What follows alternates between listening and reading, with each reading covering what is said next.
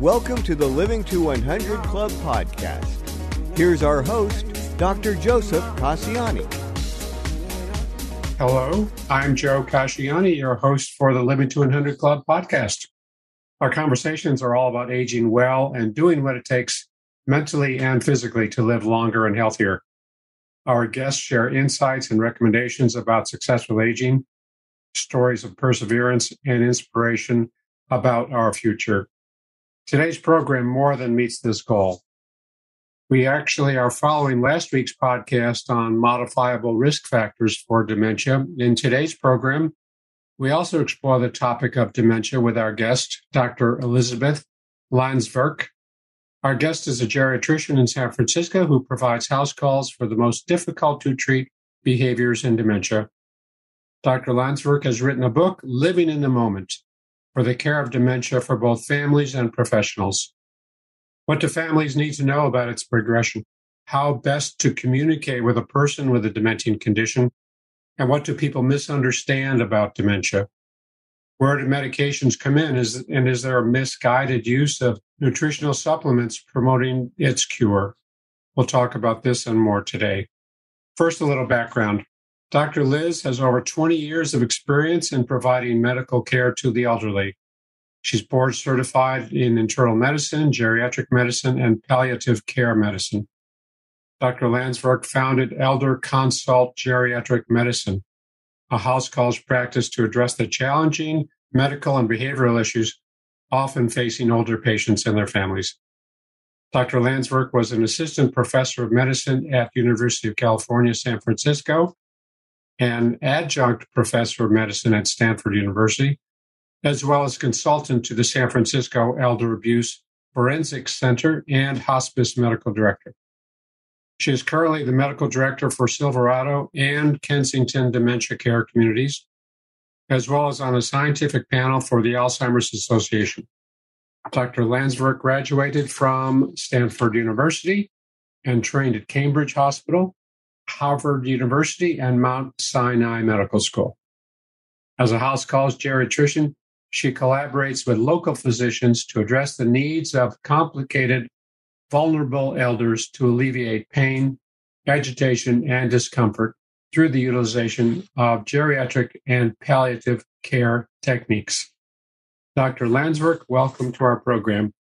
Well, thank you. I really appreciate it. And I appreciate the work you've done. I mean, first in your first career and now in your second career. I mean, they're, they're both hugely important. That's great. Thank you very much for that. Yeah, I'm glad to have you on this program. I'm looking forward to our conversation. I always like to open by asking our guests to tell us briefly about the journey that brought you to where you are today. You've covered a lot of ground, as I did in the mini bio, but uh, tell us uh, in a synopsis uh, how you got to where you are today. Well, you um, kind of outlined the arc. Um, I started out after finishing my training in academics. And, you know, it was interesting. I, I enjoyed it. But I found that there were a number of things that we weren't trained to really address. Um, you know, we were limited on what medications we should use. And when I trained at uh, Mount Sinai, I trained with some really good geriatric psychiatrists. And you know, the, the the biggest problem is that there aren't good studies to tell us what to do. So I wasn't kind of getting to put a lot of that into practice.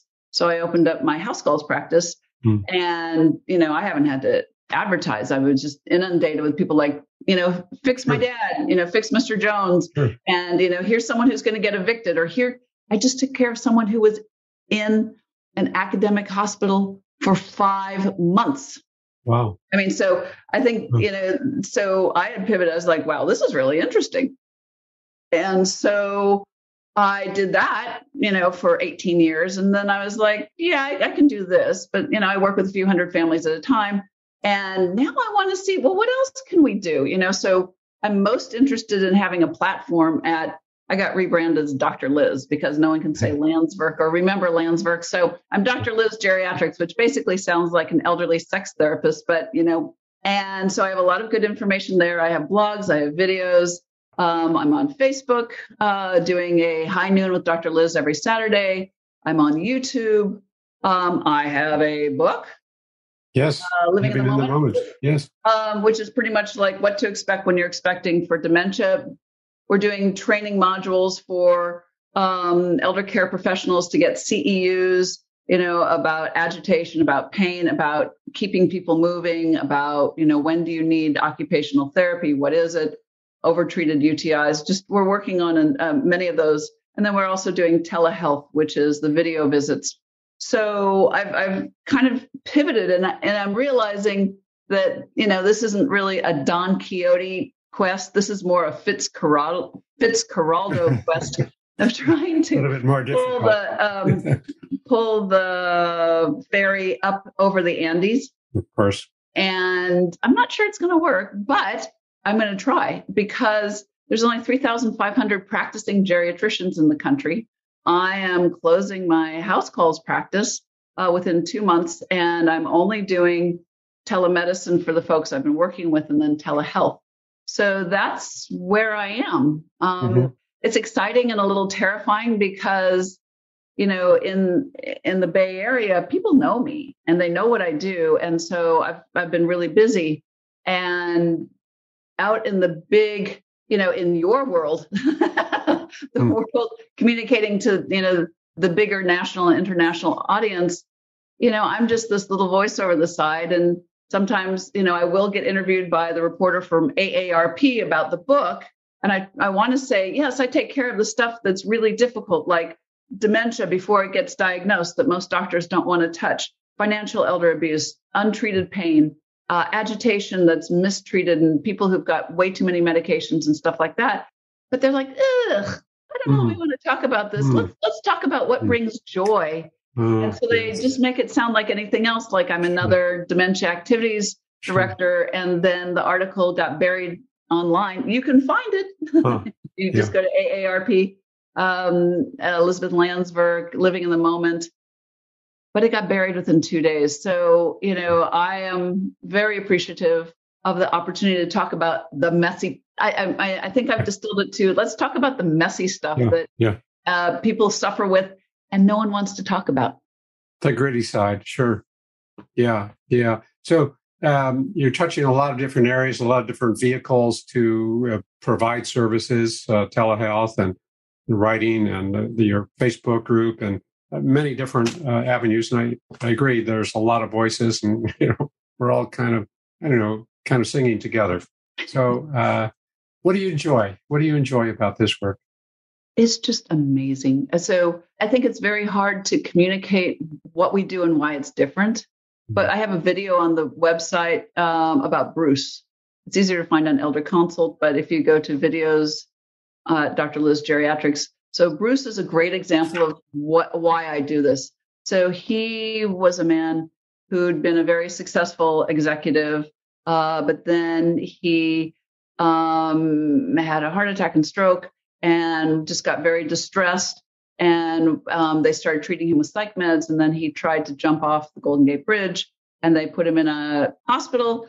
And then they made the family pay for nursing care 24 hours a day for two weeks, which is illegal. And then they just upped his psych meds and then put him in a nursing home. So mm. that's when the wife reached out to me and he couldn't walk, he couldn't talk. He he was just he was bedbound and just kind of couldn't even say a phrase. And I looked at the meds and went, this is a mess. Mm. And so, you know, a lot of times when everyone's anxious or not sleeping, they get Ativan or Xanax and those medications. You know, I even see academics say, oh, well, you know, you use them when you need to. And I'm like, no, no, no, no, no. So we tapered that and we started changing some of his other medications. And he started eating, walking, and went home. And a few months later, he went on a cruise to Alaska. And then within six months, he was back as a deacon uh, serving Christmas Mass. Yeah. Yeah. So, you know, that's dramatic. But there are so many times when someone's been too angry or they're not sleeping or they're really paranoid and the family's like, oh, you know, we just have to put them somewhere or they're in a facility, you know, and they just want to sedate. I was thinking, oh no, we we doctors don't sedate. And then I was talking to a psych resident at um, one of the academic institutions locally, and like, yeah, we use the sedating medications. I was like, oh, mm. Mm-hmm. trying to sedate them. We're trying to take the angry, paranoid edge off so they can enjoy. And that is the message I'm trying to get out. In addition to, you know, people like Bruce, who was, you know, in a hospital. I mean, it, it's stunning. He was in the hospital for several months, but they made him pay $50,000 for two weeks of care Mm. outside of the hospital before he went to the nursing home. So his care was probably a couple million dollars. And Wow. if someone gets admitted to the hospital for agitation, the average length of stay is 60 days, which is crazy because you and I know that, you know, there's this push to get heart attacks out after three days, Sure. but Yeah, no, one, no one and wants these Mhm. people. Mhm. Um, and the cost is $600,000. So if you get the meds right, you can cut the state about four or five days. I have several communities that I work with that can handle these folks. Get the medications right. They can be alert, engaged, and calm. I mean, I have one guy who, you know, he's he's too sedated, um, but he, if you pull things back, he starts swinging at people and, and trying to climb over the 10 foot fence. You know, I will get the meds right, but I don't have them yet. So 95% of people can be better. They can be calm, alert, and engaged. I don't cure that dementia unless, like Bruce, it's just from the wrong use of medications. Sure. That can Yeah. happen a lot. So that's why I do this. Yeah, yeah, I can see that untangling uh, all the complicating factors here and really seeing some successes, some breakthroughs. Just a week ago, I had a, a psychologist on my program who talked about all these modifiable risk factors for dementia. We know there's primary degenerative, but there are secondary dementias, and many of these causes, like medication or nutritional deficiencies or other other factors that can mimic the confusion and behavior, aggressive behaviors and disorientation. So um, it, it sounds like you're doing a lot of that yourself with these different cases and really helping to untangle the complicating diagnoses. Yeah. So I, I look forward to seeing uh, the program on preventing dementia. I mean, I'm disappointed to see that there are some doctors, you know, who have kind of cashed in and have tried to tell people like, oh, you will will cure your dementia with turmeric or K2 or you know take all these supplements and you know out in this area they've got people thinking that they have to spend ten thousand dollars you know Mm. five thousand dollars for all these blood tests that really don't affect outcome and then you know I've had uh, patients being given 30 supplements a day you know and then ha- going to see these expensive functional docs to look for the root cause when basically if we had a plant-based diet and took care of our blood pressure our blood sugar our cholesterol our weight didn't smoke actually unfortunately resveratrol is not a treatment for dementia so we have to very much limit alcohol and then exercise 30 minutes a day we can cut our risk of dementia by 50% Yes. which i think is fabulous since my mom had dementia in her 60s so i'm like cool Yeah. Yeah. Yeah. I've seen that. Uh, I've seen that same research. Lancet Commission out of the UK is showing 40% of these are uh, dementia cases are preventable. Yeah. Yeah. With these lifestyle factors that you described. So uh, when we do have a legitimate, not legitimate, but when we do have um, uh, uh, an individual who presents with different symptoms, what should families know about detecting dementia? What what do you? That's a uh, very good one. highlight? Yeah. Um, you know, so the, the quickest way that I look at people is I look at, I, I listen to the symptoms and then I look at their medical problems and then I look at um, what medications they're on. So like if they've had head injuries, if they were a boxer, if they were a football player, if they've been in a car accident and had a head injury, if they fell and hit their head, you know, those are the sorts of things that I worry about. The medications can often make people look worse particularly any sleeping pills, whether it's over the counter Unisom, Tylenol PM, or anything like Restoril, Ativan, Xanax. Uh, all of those can make people, you know, misperceive what's going on, make them more irritable and agitated. Even antidepressants, Mhm. Sometimes Paxil, or so all of this stuff is on my website, drlizgeriatrics.com slash medications, and in the book and those sorts of things. But I, I make sure that the medications are taken care of correctly. And then, you know, I'll do the screening, and this is where you come in. You know, the mini mental status exam, the 30 point question of, you know, what's the date today? Where are you located? Do this three step, you know, proceed uh, task. Correction. Mhm. Yeah. And then, you know, write a sentence. So that's a screen, um, or the MoCA is even better because one of the uh, changes is that you have a field of letters and numbers, and you go from a letter to a number to a letter to a number. So it's a little bit more abstract. What I've seen is talking about like financial elder abuse, the misunderstanding that you know it's not a hard and fast test that you know i've seen even in academic review books that if you get more than a 24 out of 30 in a mini mental status exam you don't have dementia well as you know, that's not exactly true. You could have a 30 out of 30. And if you have damage to your frontal lobe or your, your risk assessment area, the frontal temporal area, you could lose all your money uh, because you've lost your risk assessment. And that's when you need um, neuro, gero neuropsychologic evaluation, which is, you know, more in your wheelhouse. You know, that's four or five hours worth of detailed work to really know what's going on the caveat I see there is that sometimes I've seen these people go through like the academic interdisciplinary team and they have, you know, five different disciplines talking about this person, but they haven't cleaned up the medications first. So I think the first thing I would want to do is clean up the medications, do the, you know, do the evaluation, check for thyroid, um, B12 folate, uh, and head CAT scan at least. So you know if it's a stroke or if it's a head injury or if it's a tumor.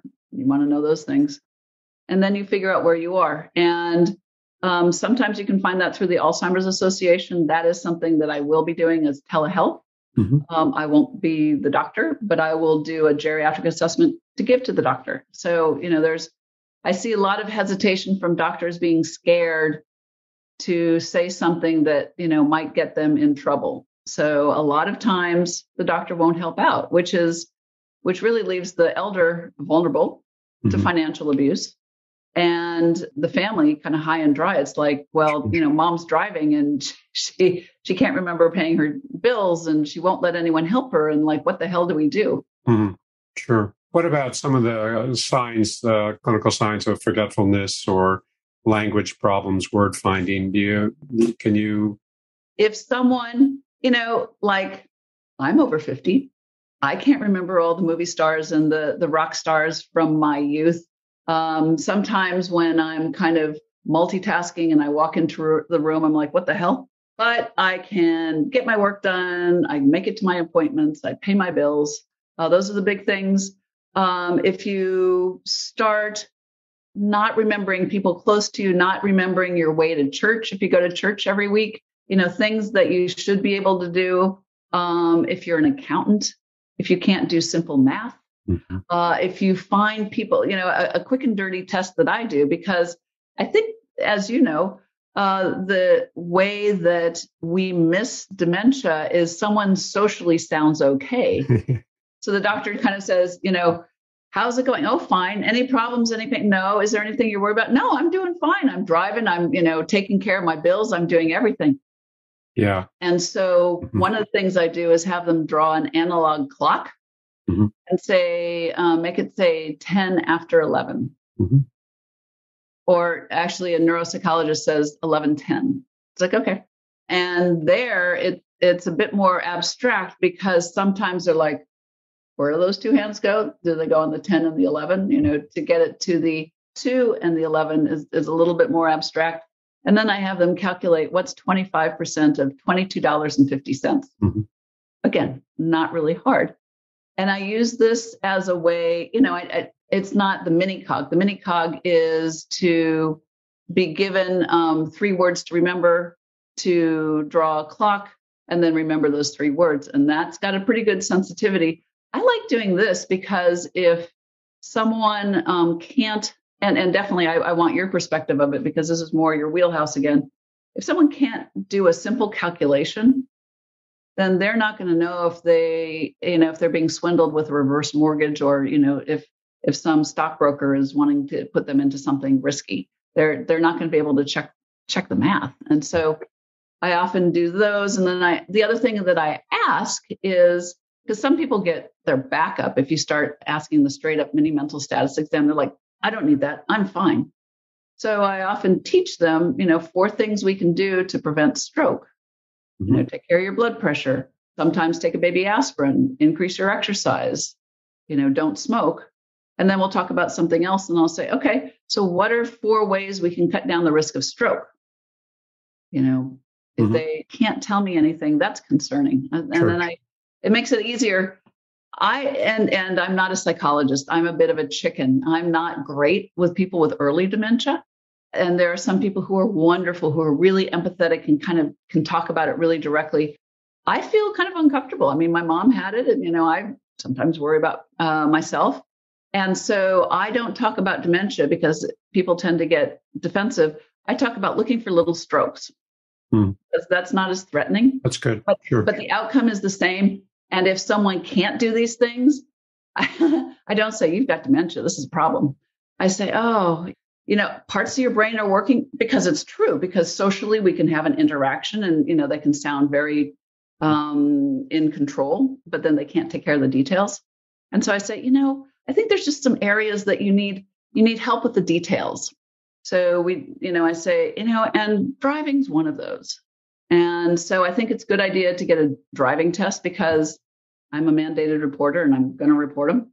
Uh, that is hands down. If you're going to do something, you take away the guns, you take away the car, because those are the two ways that someone can get hurt and you'll be liable and you know god forbid someone can really get hurt or die so you know those are my first criteria and then i'm like you know to really detail what's going on i think we should get some more in-depth testing to see what's working and what you need a little help with and so i find that that works for me mm-hmm. sure yeah so there's um i like that expression about your you know maybe little mini strokes and you know your brain's not working so well. It could be a vascular dementia, or it could be just a you know kind of primary degenerative dementia. Right. But, yeah. But I, I, find people are like, I don't have dementia. You yeah. know, so I, I denial. Yes. Yeah. Mm-hmm. That's how I approach it. I mean, you know, I'm um, I do my best. sure. Yeah. So a family member is concerned, uh, adult child, uh, son or daughter, seeing dad maybe getting lost uh, when he goes out driving or can't find the car. That's a concern. I mean, uh, maybe a single event, not so much, but a pattern, yes. If there's a mm-hmm. pattern of these events, or someone uh, was defining the difference between um, can't find your car keys versus not knowing what the key is when you're holding it in your hand. Well, there's there's that, but then there's a lot of people who are in the gray that you know might have a fender bender here, or they might get lost. No, they're like, no, no, I'm fine, or they might graze something and you know the the other things that i try and do is like you file down the key you pull the spark mm. plug i mean there aren't that many mm. spark plugs anymore you you say oh the car has to go into the shop yeah but i, yeah. had one woman where they they did that and then she looked so good she she couldn't remember from one day to the next she was in her 60s and had alcoholic dementia she slipped her caregiver she took a cab she went to the rental agency and they gave her a rental car. Well, of course. oh, you know, you, you got to be creative and you got to be yeah. You got to be ready to be flexible. Mm. Do you think the uh, the different types of dementias really matter? Early stages, frontotemporal versus oh, vascular. Very much Pick's? Very much. I think um, vascular is more difficult to work with than Alzheimer's um, generally, because particularly vascular, you know, people with Alzheimer's kind of get a little more fuzzy and a little bit more withdrawn. And, you know, they might not be as interested in their family or their, you know, hobbies and those sorts of things. And I found that it's easier to get them into a day program. But people with, you know, vascular dementia, they're like, I'm not going in with those people. They're crazy. Mm-hmm. I'm fine. Yeah. You know, they're and they're the ones who are going to be at home and go, I don't need any help. You know, where, you know, the daughter is spending all her time making sure that mom has food that's already cooked because mom can't cook anymore. Mom mm. can't drive, you know, but she doesn't want anyone else but her daughter. And she's like, I'm fine. I don't need any help. You know, I'm not going to have a caregiver. I'm not going to okay. go anywhere because she's got her daughter. So that's tough. Then there's the Lewy body dementia, which is there's different different flavors of tough, sure, uh, which makes it more interesting. The Lewy body folks can look okay, but then they can get paranoid and angry and accusatory, particularly if you give them anticholinergic meds, it can make it worse. And uh, they often have Parkinson's. The Parkinson's meds can make them more delusional and paranoid. And so, kind of teasing things out. What I like to do is cut down all the medications first and see what's left over mm. uh, before we start putting on medication to treat agitation. There's the frontal dementia, which is fascinating in that they have good good memory but have lost their judgment. There's a primary progressive aphasia where they start to lose their ability with words, which is easier to see, but it's the loss of judgment and risk assessment that you know can really send families and providers around the bend because someone can you know socially sound fine. I had one guy who'd um, the daughter was having a tough time. He was in assisted living. He was being sexually inappropriate. He was stealing. He was going out and getting drunk. He used to be like a straight-laced engineer and the doctor, you know, he went to his doctor and said, I want Viagra. And he looked so good. The doctor gave him Viagra. It's like, oh, that's no, hmm. that's not what this mm. guy needs. And then we went to court. You know, I'd done the evaluation. He just, and I said, Joe, you know, you don't have Alzheimer's, but you have trouble um, with impulse control. He's like, yeah, okay. Mm-hmm. And so I was trying to tell the, you know, the court appointed lawyer, don't say dementia, say impulse control, because that's pretty much what, you know, frontal dementia can be, where you've lost your judgment, you've lost your risk assessment, and you're just all over the place. And you need help putting that together uh, or keeping that contained so you don't get swindled, so you don't get hurt, so you don't hurt someone else. And so in the court, the lawyer said something like, so, Joe, you know, do you admit that you have dementia? And I'm like, oh. And he goes, I don't have dementia. I'm like, call it impulse control. Mm. Anyway, he um he uh, wasn't conserved for a couple more months, and mm-hmm. then they finally, you know, they did more testing and finally mm. figured it out. So it's it's pretty fascinating. Yeah, yeah. Denial is is a big part of the picture, right? I mean, uh, very difficult and uh, it's very easy to mask the underlying cognitive decline. I mean, as you say, they're very socially appropriate. Someone with Alzheimer's can say the right things on the surface, but if you scratch a little bit below the surface, you see that there's there's a lot of uh, loss. Cognitive. Well, and the, and the thing that I often hear from families is, you know, dad's being such an asshole. He's just being difficult. Mm. And I think what I see a lot is they're not aware of it. I mean, if particularly if they have like vascular dementia, they think you are the problem because they have anagnosia or the um, as mm-hmm. rumsfeld says the unknown unknowns they're not aware of what's not working mm-hmm. and so i try and work around it and i kind of go where they are and talk to them about the things that they can relate to and just talk about you know a little help here and a little help there but mm-hmm. you know you've been a very strong you know independent person and we want to you know support you in that mm-hmm. you mentioned the uh, the push for or the press for uh, nutritional supplements and uh, a lot of recommendations for different drugs or not drugs but uh, different supplements nutritional right. supplements. Are, are, there any that help or uh, can they uh, kind of minimize these symptoms? Uh, we know they're not going to reverse them but can they minimize them so, like the the latest craze is the microbiome and leaky gut. You know, and yeah, I've heard several MDs making hay on. Basically, what you need for a healthy microbiome is plants. You just need fiber. You don't have to buy psyllium. You don't have to buy mm-hmm. probiotics, mm-hmm. prebiotics. You know, and you know, I think some doctors try and scare people, um, MDs, I'm saying, you know, into thinking uh, to to thinking, oh, I'm going to have poop in my blood. How gross is that? And I mm-hmm. need to have this to protect it. And it's it's not fair. So B12 I've seen, thyroid I've seen. You know, the issue with turmeric and omega 3s, those decrease the risk of stroke.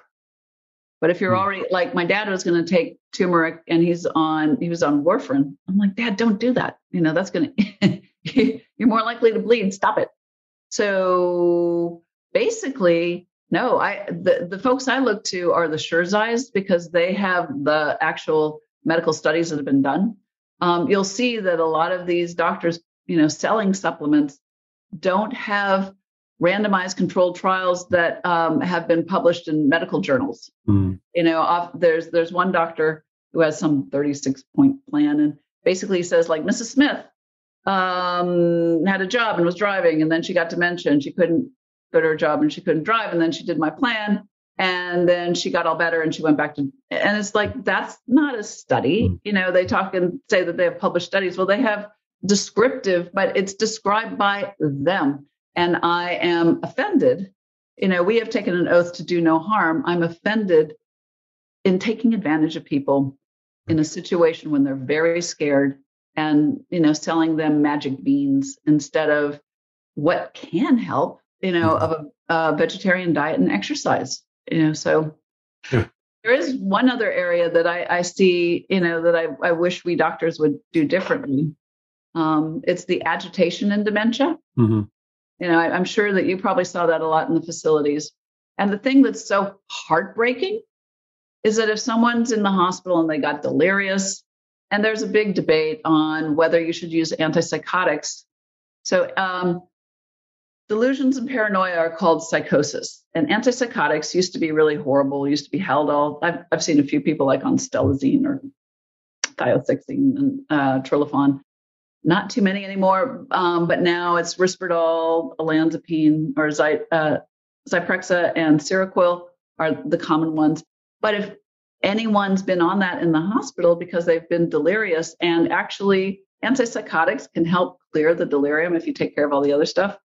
The nursing homes don't want them because they get a black mark for anyone who has antipsychotics. Sure. Um, and assisted living doesn't want them because they're like, ooh, you know, they're going to be a problem. No one takes these people. It's just, it's heartbreaking. And, you know, if I find I spend 40% of my time taking people off sleeping pills you know, the the Ativan, the Xanax, because they start, you know, giving it occasionally and then people become tolerant to it. You know, you can probably get away with taking Ativan a couple times a month and not get in trouble. But if you start taking it a couple times a week, then you start, uh, particularly elders with dementia, start withdrawing. And then they're like, oh, well, we better give it every day. And then they keep giving higher and higher doses. And then you made a whole mess just from that. I've seen problems from not treating pain you know, and treating pain even from some fractures with Ativan or mood pills, you know, because of the agitation related to the pain, instead of treating the pain and this fear of narcotics for anyone. I will say, you know, that I am disgusted that there are doctors that will write out scripts for, you know, 150 Norco or or OxyContin, you know, or who are just, you know, paid to give out these pain pills, and those people need to be shut down. Sure what I often see is bone on bone arthritis on someone who's got, you know, moderate dementia who really can't go through a big surgery.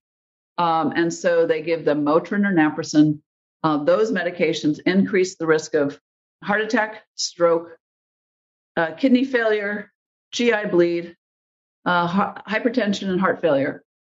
And so I start with Tylenol, you know, mm. several times a day but then I'll use a half of a Norco twice a day um, for serious pain, you know, bad arthritis pain. And often, if you take the pain away, you don't need the psych meds. So I'm I'm really upset, and and I hear a lot from academics that no, they become tolerant, so you can't do that. Well, that's not true because I've got elders that have been on it for months and years.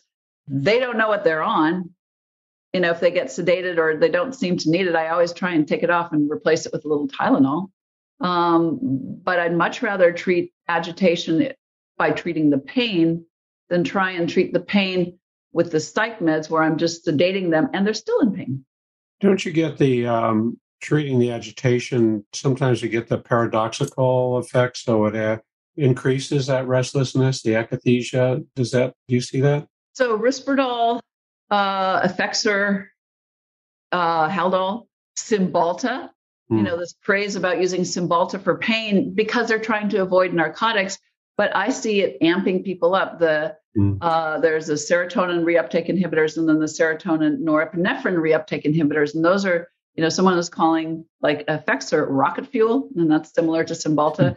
So you can overstimulate people. So there is a paradoxical effect, but with the benzos, the, the category of Valium, Ativan, Xanax, Klonopin is more that they start taking it more often. And it's the with particularly like Xanax is the crack of of those pills where it's shorter acting and twice as powerful. And so you can start withdrawing between doses. So mm. I think I my experience has been occasionally it's paradoxical where you give it to them for the first time and they get more agitated. Mm-hmm. But more commonly is they've been getting it for a while I had one lady who only got Restoril, which is a sleeping pill in that category, for three nights in the hospital. She had dementia. I'd gotten her meds all settled out. I had to take her off Cymbalta. And then she got discharged. They just stopped the sleeping pill. She was raving. She was delusional. She was paranoid and very much awake at midnight. I had to go over there. It was from the withdrawal from the sleeping pill from three days. Wow. Wow. So you slowly, you hmm. slowly have to get them off. And that's been my practice is, you know, I slowly, slowly get them off. And sometimes it can take six months to a year, you know, if they've been on a lot of medication. And so those are those are my biggies. Yeah. That, that's what I that's what I've been doing for the last 20 years. yeah, yeah, you've been immersed in that. So what do families do if they're looking for a specialist, someone like yourself with those kind of skills to untangle all the medication mixes and undesired side effects. I mean, where can they go? Where do, Yeah. how do they find Um, someone? As you locally- mentioned, we're shortage of geriatricians, geriatric Oh, so psychiatrists. They've been short. Yeah. Yeah, so I um I mean even in our area there's just a shortage of primary care which is heartbreaking because that's where I started. I would say look to medical schools, hmm to the geriatric division, uh, call the Alzheimer's Association. Actually, surprisingly, the VA has done a better job of collecting geriatricians. Uh, so if there's a geriatric clinic at the VA, that's a good idea. You Yeah. know, then I've got my book, I've got my website. We do telehealth, uh, where I can give a geriatrician's perspective to Sure. bring back to your doctor. And, you know, I'll opine about what I see for cognitive uh, function and say, well, I think you might need X and Y. I mean, I don't overreach. I'm like, if if if, if there's concerning things, but it's not really clear, I'll say, yeah, I think it's good to get neuropsychologic testing. Or, you know, more often it's like, ah, I think you ought to stop the the bladder pills are really anticholinergic. I see a lot of women on those. Detrol, Ditropan, Sanctura, Vesicare, you know, or allergy pills. Zyrtec is not safe for for Yeah. elders. So Yeah. um, those Okay. that would be where I'd look. That's helpful. Thanks. Um, we'll get to um, the context uh, in a second, but tell us about your book, Living in the Moment. How do readers benefit? Yeah. Well, it's pretty much like what to expect when you're expecting. And I've read the 36 hour day. Um, this is more user friendly. This is, yeah, like what to expect when you're expecting, starting from the beginning when you start seeing changes in behavior but don't have any diagnosis, what to think about, what is dementia, what kinds of dementia are they, what parts of, parts of the brain affect what function. And I have lots of little stories about family interactions and you know to kind of illustrate the the points that i'm making um, talking about uh, how to do the workup what they should be doing um, that you can't just do a quick mini mental status exam and say oh that's dementia and that's all you get uh, good luck basically i talk about the different medications that can affect uh, cognition and well-being i talk about a lot about behavior problems and how to address those then we talk about uh, the coping day to day, how to um, how to think about caring for someone with dementia, where to look for help, Hmm. uh, techniques to use, uh, when to think about assisted living, how to look at assisted livings. I mean, I Oh. see so many times when if it looks like you know a Hyatt, people are like, "Cool, I want mom there," and I'm like, "No, no, no, no, no." You know, you need places where a you see the staff. There's some Hmm. places where i can't find any staff member. Bad idea. Where the staff are engaging with the elders you know Sure. where they're not lined up watching a, a screen um, and where the staff is is available to you. So those are the things that i like. Um, and then we talk about advanced care directives setting things up financially and then finally talking about hospice you know what to look for in hospice and uh, there's a more recent development. I think private equity is buying up a lot of hospice, so you got to be careful Oh, I didn't know um, that. that they're trying to cost cut a lot. And I talk about you know what you should expect from hospice. What a great resource. What a great resource. You've got it all there. Living in the Moment.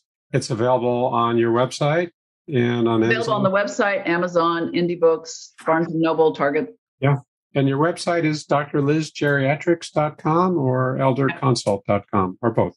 Uh, Dr. Liz Geriatrics. I am retiring elder consult because Oh. I'm retiring doing house calls in person. Yeah. although I'll be doing telemedicine visits um, and then I will be doing telehealth. Great. Great. So drlizgeriatrics.com. Well, it looks like we're out of time for today, Liz. Before we wrap up, I just want to remind our listeners to visit my website, living100.club, sign up for our email list, and download a free copy of my nine tips to make living longer enjoyable. While on the website, be sure to peruse our library of blogs and podcasts. And finally, if you're interested, reach out to me to schedule a presentation for your group in person or online. I think there's value in helping older adults feel inspired about their future. So, Elizabeth, thanks very much for being a guest on our show today. I really appreciate it. I know our listeners appreciate it as well. Well, thank you. This has been terrific. Great, great. Yeah, you're welcome. And thanks to everyone for listening to our program. Hope to see you next time.